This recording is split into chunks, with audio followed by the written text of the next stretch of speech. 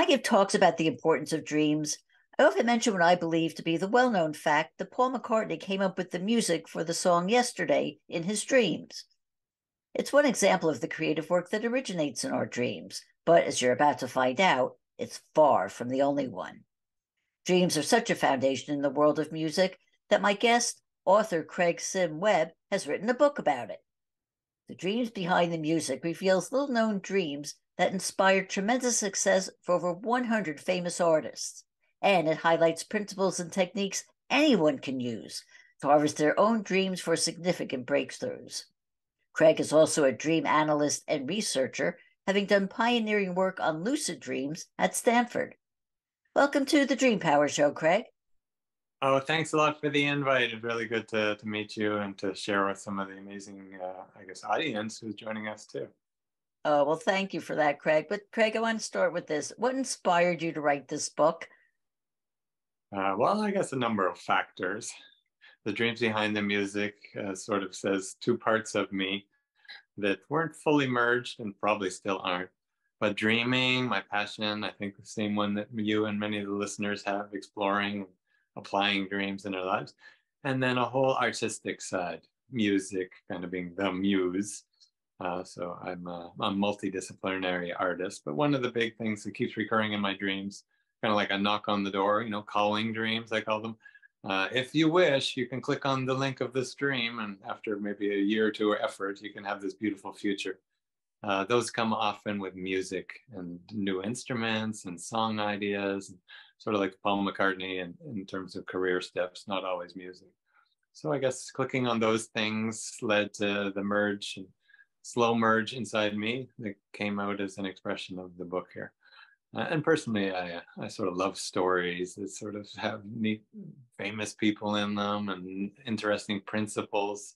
I tried to kind of isolate the principles or universal ideas, universal techniques that everybody can use. So it's kind of about language of music, maybe celebrity, but really a mother, a doctor, a business person, anybody could use most of the principles. I guess that's why it's a fit for Dream Power Radio, right? Oh, absolutely. And we're going to get into your connection with music in a little while, but I do want to get back to the book itself because uh, I talked in the intro about Paul McCartney and yesterday, but if I'm not, uh, if I'm correct, it's not the only Beatles song that was instigated by a dream, was it? Yeah, well, Paul's one of uh, my favorite dreamers. Uh, I borrow the phrase to say uh, shock, rock and roll shaman. Uh, Sting called himself sort of a, let's say, shamanic states of dreaming. Sting's another big musical dreamer. Uh, and Sir McCartney dreamt, uh, I think I mentioned yesterday, which he shared not that long ago very publicly. but for many years, not too many people knew about that. So thank you for bringing it out there. Show people examples that can really be practical in life. And then, of course, Let It Be. That's another one he shared, I think, only about a year ago on uh, Carpool Karaoke. I mean, a little bit here and there before that, but in a mainstream way for the West. Uh, there was a big one about a year ago. He shared some of the story of Let It Be, where his mother, you know, the lyric, uh, Mother Mary came to me. Of course, his mother's name is Mary, his physical mom, who, who passed when he was younger and she came in a dream and i think at a rough time when the beatles were having a sort of the rocky part towards the end of their their togetherness and she said you know son just let it be and he said uh, i guess it touched me so deeply maybe it'll touch listeners made a lyric made the song you can sort of see the thread that comes some kind of inside info i sort of call it you know shamanic rock and roller but really that's what shamans or let's say medicine people or anybody really tuned inward gets the inside data. I say collecting the the files and the data and the web pages off the inner net. It's kind of like internet, but it's in our dreams. And then Love bringing it people. Internet. The internet, yeah, why not? I mean, we have this big physical version of what's already inside of us. So I borrowed the phrase. I hope that's okay, people. I'm allowed to joke a little about it because my family name is Webb, right? Exactly. So it's very interesting you say that, you know, we know Paul McCartney came up with the music for yesterday in his dream, but the lyrics for Let It Be came from, or the inspiration, the lyric came from his dream. So, yeah. And I'm not sure we can separate them entirely because he's a pretty sharp dreamer. This is a, a little hidden technique in there for any of you creatives, which I think is everybody. but he would often, or when he would get these kind of musical inspirations, and there's a few more if you want, I can share. But he'll right away, you know, sort of, I think at Jane Asher's apartment when I got yesterday, crawled out of bed, groggy, you know, maybe a cool morning there in UK. Uh, but uh, just went right over to the piano and tried to piece together the song. Uh, and so he kind of gets up early right away. And I imagine the dreams and the music for Let It Be were both mixed in. So maybe he's just writing the lyrics at that moment, but then he starts humming the phrase and it kind of comes together, I guess, a, batch. And there's a, a little bit of science or let's say statistics behind my guess, because it turns out that actually anybody who wishes, it's pretty much anybody who wishes, uh, in sort of a smaller study I did, and then some other research I've seen since then, it looks like people who intend or you know just say, hey, that's interesting, let me be open or try it to have musical dreams or dream of new songs even uh, seem to get it very quickly very easily.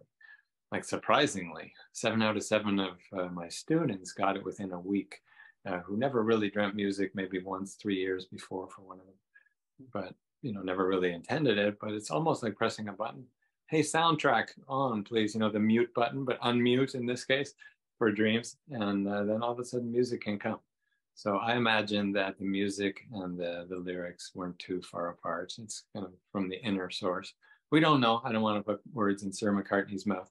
But there is a very, very interesting story that sort of points to other aspects of such dreams by the Beatles. And this one's not known about yet. But thanks to Dream Power Radio and maybe, maybe some other helpers here. Uh, this Let's hear it. There more, maybe a little bit my book that uh, Lennon and McCartney had just started working together, obviously an incredible partnership, but at the time they didn't really know. They're just sort of two gents in, I guess, Liverpool, uh, just kind of having fun, playing guitar, having a wish to be like that guy on TV called Elvis. And then uh, a recurring dream that Sir McCartney had, he wasn't Sir at the time, but uh, was digging up an old tin can in his backyard uh, so he, he actually shared this and I reference, you know, all, I think 750 references in my book point to the actual place where he shared it or it was shown or some of them actual events that happened like plane crashes, etc. So I like to keep a little bit of credentials in there. And he, he actually shared this.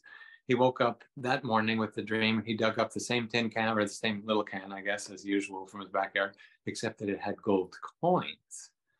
Uh, and he said, Wow, that's interesting. He just happened to be chatting, I guess, with his new songwriting mate, John, and said, Oh, I had my recurring dream, whatever accent, Liverpool. And uh, John said, Well, that's really strange because just this morning, I actually, you know, had a dream also of digging up a tin can of gold, gold coins or something pretty close to it, enough that it was extremely unusual. They both pretty much had the same dream. That was tandem uh, dreaming he kind of like just says a little phrase at the end. I guess you could say it sort of played out true because, you know, he has, I think, now uh, half a billion or, or more yes. royalties in all his life. So he did pretty well with the gold coins for that partnership. Mm-hmm. Yeah, it also brings up the whole idea of tandem dreaming, which uh, right not very many people do, but you get that connection. Yeah, mutual dreaming. I'm not, I wouldn't be so surprised. In this case, it was sort of, let's say, new creative partners, bandmates, and they turned out to be lifelong friends and colleagues and such, you know, with a little bit of waves in the mix, of course. But I would say any partners out there, you know, obviously wife, husband, but even, let's say, other variations on a theme, children and parents, if they started to check a little more, I bet you they would notice a lot of what I call mutual theming, sort of like mutual dreaming but it's not always in the language of life where I'm at this point of view, I see the TV or I see the tree exactly like this, you're over there, you see the other side of the TV. So it's not, that's more the physical language of our perception. In dreams, it might be, oh, I had this character appear, or the color of the room was this, or we were outside running, going on a river, but big, more general things like a theme or a motif. And if people check, I bet you you'd be very surprised that it happens all the time because I, I check with clients and students and I myself notice it personally quite often. yeah, it's there if we look for it. Sometimes it's very striking though, exact same dream, right? Have you ever had that? Uh, I haven't, but again, I don't usually ask other people if they've dreamt the same thing that I have. And uh, it's an interesting question to take up that I, I may do in the future. All right, new little re- home research. I call it detective science. With dreams, we get to be first person explorer and get our data, each person. Absolutely. Well, in your book, it's not only about uh, Beatles who had uh, songs come out of their dreams, but you also say Beyonce has a song that came from one of her dreams. So you can tell me a little bit about that. Uh, yes, well, Beyonce is a, a, visual artist. Uh, although people say, "What? I thought she was a musician." Her album, that which she says every song was at least inspired by, or maybe direct from Dream Download, uh, the visual album. She says, "Yes, because I actually see music. I see the images. I see the sort of dreams of it." Some she actually gets right on waking up, so she'll get that as her music uh, which sort of bridges into a whole interesting chapter in the book that uh, I just labeled because I started seeing sort of the metadata uh, when I was gathering many stories, like 200 different artists. There was certain groupings that were kind of interesting that don't really show if we just know a story or a, I guess an anecdote here or there. But I noticed a lot of artists, especially the the dream ones, who kind of tune inward and bring it out quite consciously. Like let's say the applied dreamers, I would might call them uh, they have synesthesia. In other words, their senses, different senses bridge a little bit into each other. Uh, Pharrell will go, you know, the, the artist Pharrell. what is this? I'm going to be happy. Clap along. I can't say too many lyrics here for copyright, but I don't think you'd mind that uh, Pharrell actually sees music when he meditates in the studio uh, or, or kind of sits quiet, maybe with eyes closed, and sees like colors dancing around a bit like I, I believe Beyonce does. So there's this kind of crossover where that visuals and the feelings that comes with them translates into a musical song or working arrangement or whatever they're they're working on in that moment.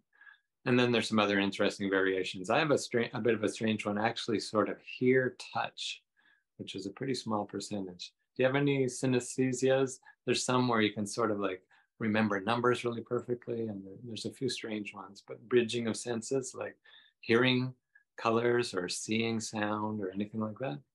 Sometimes. I mean, it doesn't happen very often, but yeah. Yes, yes, I do. I do. It's uh, well, it is. It could be a sign of some creative genius. So a friendly little seed or suggestion for you and any listener. If it starts coming a little bit, maybe uh, at least be open, maybe nurture, because it sounds like it can bring some interesting success. Yeah. So uh, I wanted to ask you in your research because um, you either have dreams spontaneously where you just dream, you go to bed, you have the dream and it's there, or you can, uh, you know, make a dream declaration or do a dream incubation and meditate on what you want to dream about before you have the dream. So, uh, which is it with these artists? Is it a little bit of both or? Yeah, there's a few. I have a whole chapter on what uh, I think everybody here probably is aware of, lucid dreamers. Uh, and uh, even lucid isn't quite an on or off thing. And obviously, some people use the word differently. But I'd say generally people who intend dreams. And my definition of lucidity, which has expanded quite a bit since I was involved with the research at Stanford that kind of brought it to the West. Uh, even if we intend a topic to dream about, or maybe not so consciously, you know, we watch a scary movie going to bed, or we're just thinking about something, or worrying, or whatever, but our mental focus is on a certain topic our emotions are probably following that. And we fall asleep, we go to a deeper state, maybe even meditation. But if we fall asleep with anything like that, yeah, we're going to probably dream on it. I think anybody here say that, yeah, I slept on a problem before. Same idea. So it can be intentional or unintentional, but it starts to guide dreams. So that's kind of my my little uh, movement of the RPM needle of lucidity. Maybe not fully into the the green yet, but starting to intend dreams before they happen and then maybe more official lucidity is during the dream uh, that can start to happen. And there's quite a few. Uh, one interesting one is a colleague I worked with, Robert Rich. It turns out a number of the electronic music musicians who do sort of soundscapes and different sounds, not as quite as much as like songs, I guess, or quite you know, rock and roll radio songs anyway, but more soundscapes. And Brian Eno is another they actually sort of seem to intentionally dream quite a bit. So Robert Rich did too. He said he had a really powerful dream where he kind of merged into a painting in the dream, kind of became aware and then dove into a painting, ended up flying over the hills of Santa Cruz, which is close to where he lived in California. and then hearing the most rapturous, incredible, I guess, at first actually seeing this sort of sound formation in the air, and then I think hearing and feeling and waking up with it. And that became one of the songs on the album, I think Numinous, or, or one of the albums he was working on at the time. So there's certainly people who quite intentionally, you know, go in, uh, go into the dream music studio. Uh, I'm one of them, and will sort of work on songs or ask for inspiration, or somehow just let it come. But I can still say, even as a, a fairly proficient lucid dreamer, many times the, the melody just comes. Uh, if I want it, I know that I can kind of turn on or off the mute button for the music pretty much any day. I can sort of have that. It's just a question of which ones am I going to work on and log. And it does take some physical time. So I kind of let them come a little more naturally. But sometimes if I'm working on a song, an album, or or maybe something even like producing somebody else's work, sometimes just editing audio interviews, uh, I might intentionally ask for guidance or in the dream say, hey, is there a better way to mix this or arrange it?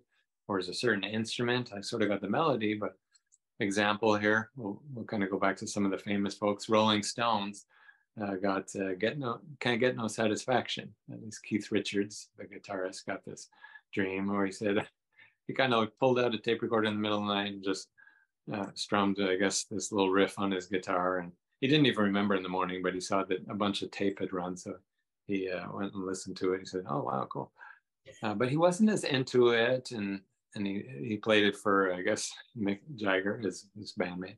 They were just beginning at the time, and Mick said, "Hey, I like it, I like it," because he wasn't sure he wanted to really record. So Mick, I think that day or, or shortly thereafter, wrote some lyrics that seemed to fit pretty well, and they they pieced it together. And he said, "Well, I want to make it more rock," so they added this really grunge sound.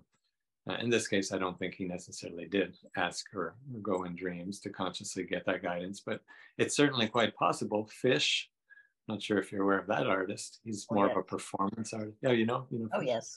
The group, and uh, the, I guess the, one of the main songwriters there, actually the performers on stage, Mike Gordon, goes in dreams and quite actively gets a feeling, a sound, or a music. Uh, and there's other artists who do that too. So okay. I think this it's more on and off. Yeah, Maybe is... some do sometimes. Oh, Craig, you said that, that during this conversation that you're also a performer and you've come up with music from your dreams. So we're actually going to play a couple of clips from your music, and I'd like you to elaborate a little bit about, you know, what it means to you, maybe where it came from. So this first clip uh, I want to talk about is the one that you call bass riff.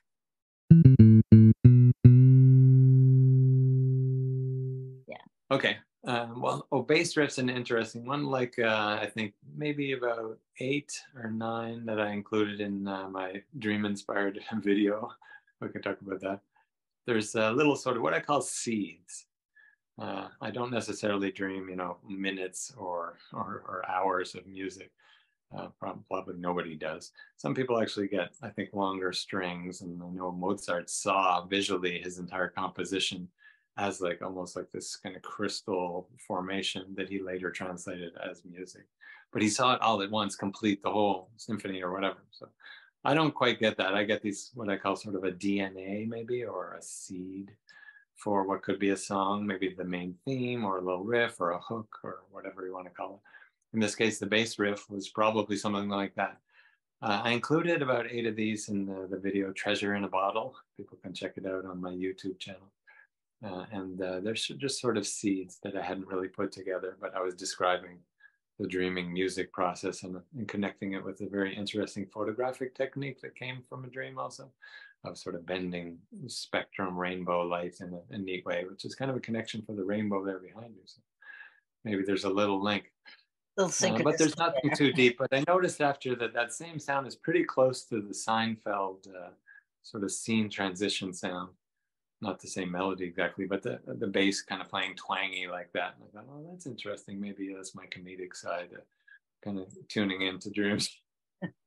It could be. Uh, it's very interesting you say that, that, you call them little seeds. Uh, I often have what I refer to as dream snippets, where yeah, yeah my my i'm not a musician i can't carry a tune i don't play any instruments but i do write and i will come up with you know sentences or or themes i want to write about you know in a dream but it's usually not the whole full blown thing. It's usually just you know a Is fiction?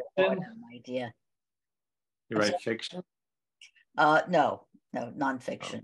You know, kind of essays type thing. I was wondering if you dreamt your characters because some authors have dreamt characters too. Oh, there's there's a laundry list of authors who have had their books come out of dreams. You know, Mark Twain was big dreamer, just for an example. Of the- Stephen King, uh, a number. Stephen King and so many people.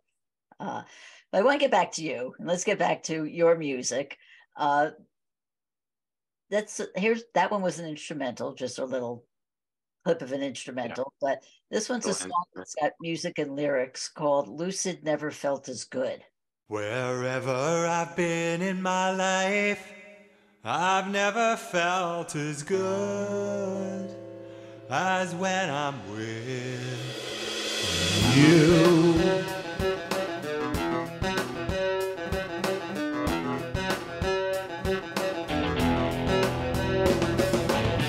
From a dream, this melody just sprang into my life, yeah.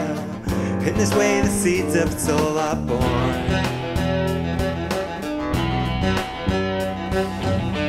Well, my friends and family and lover, they're very dear to me, yeah. But without the muse, I'd be forlorn. She told me wherever I've been in my life, I've never felt as good as when I'm with you. And I said, wherever I've been in my life, I've never felt as good as when I'm with you.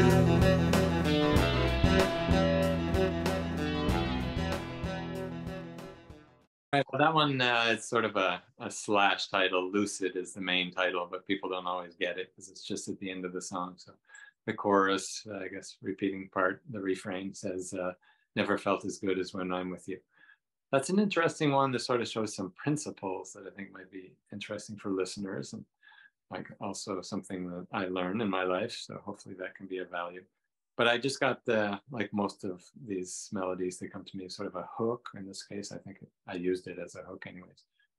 Wherever I've been in my life, I've never felt as good as when I'm with you.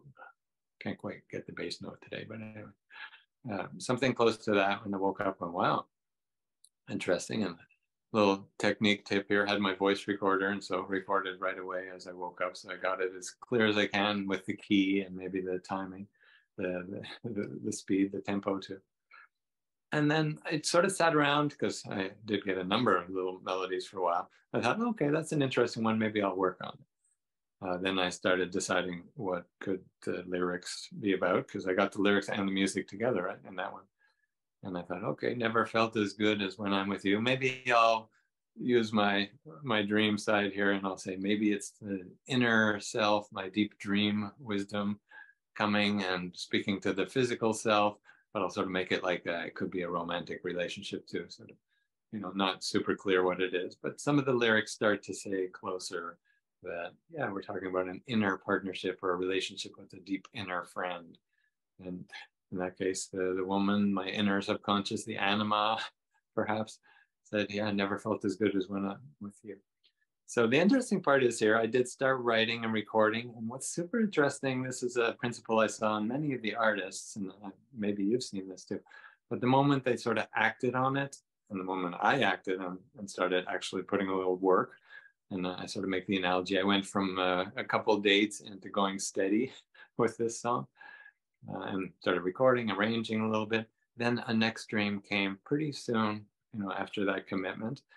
I forget the exact timing, but days at most, week or something. And it gave a whole different sound because I'm more of a, like a folk guitar. I like acoustic, sometimes even just like a cappella and things up till then. And it was like this rock and roll driving distortion beat. Uh, it, it brought the bridge, which uh, people can hear in that song if they check it out but it's a pretty hard electric guitar with with distortion. I think, whoa, you know, grunge. I'm not quite the grunge guy, but I thought, well, maybe that's a good character development for me to get my my hard rocker self grown a little bit here. but I also took it as a pretty specific guidance and I added in distortion guitar and it changed the feel of the song quite a bit. I, I did really enjoy it. So the principle there that maybe everybody can check out is once we kind of commit to it, act a little bit towards it, it seems like the subconscious says, oh, cool, you know, he's showing up or she's showing up. And the next step is is given. Yeah. Okay, I have a very practical question to ask you. So you dream uh, the music. How do you remember it? Do you get out, take out your guitar and record it, or do you just sing it into record? How do you do that? Yeah. Well, uh, I have to be honest here. Maybe I'm dating myself. Officially, uh, I did record originally on a tape recorder. So that was, I just kept a little tape recorder by my bed. Uh, the days of tape recorders have passed here. So I keep an MP3 recorder. But uh, what I find most efficient now, so that I act on it quickly, because it's not obvious if we just gather all kinds of stuff on a voice recorder or maybe our cell phone. I put it right into the cell phone but a little tip here, I keep the uh, the airplane function on, so the cellular waves off at night, so I don't get blasted with the, the radiation. And then right away, as soon as I've recorded it, I email it to myself, you know, send. And that day I'll have the little melody there and I'll choose if I'm going to work on it, or at least I'll record it with as much as I can remember of the dream and, and maybe a few other hits and most of the artists who many artists seem to agree that when it was fresh like the morning of or at least that week and they worked on it they got a lot more and it seemed more connected with that intuitive source spring of the song.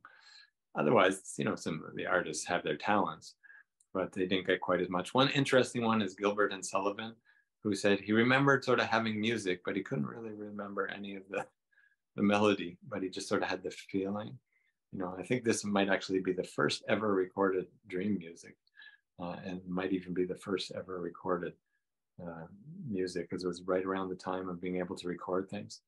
Uh, and so he called that song The Lost Chord, which I guess was sort of the forgotten dream. But I think he included the feeling and vibe. And other artists who sort of wake up, you know, sleep on the keyboard. One of the soundtrack composers for games, forget his name, but a Japanese fellow, he says he sleeps on his keyboard, you know, kind of, I guess, with maybe a little pillow or something so that he can get it as fresh as he can and get it right in and even start working on it right away. And many others, Lenny Kravitz says he does that. He goes right into the studio at night, etc., etc. So the fresher, the better. Oh, wow. That is so fascinating to me. And I've got a million more questions to you, but we're running out of time. So I just have time for this one final one, Craig, which is how can people find out more about you and your book and your work? Oh, well, thanks for that, Debbie if it resonates with you today, or if you want to learn more, you can certainly uh, follow different trainings or I guess private coaching that I offer, craigwebb.ca. Uh, if you want to learn about teleclasses, you can check out applieddreaming.com with two D's, Applied Dreaming. And then uh, if you want to check out the book, it's on Amazon. You can just go Dreams Behind the Music, or you can actually read a little more about it at the website, dreamsbehindthemusic.com. You can also reach to me uh, I encourage you to make sure to subscribe for Debbie's show here because she brings on lots of great content. So part of what we're offering is a huge gift from Debbie, and I appreciate it. Thanks, Debbie. Right okay. We've been speaking about dreams and creativity with author and dream analyst Craig Sim Webb. I hope you've enjoyed today's program. If so, please hit that subscribe button so you don't miss out on any future episodes. Until next time, this is Debbie Spector Weissman saying, Sweet dreams, everybody.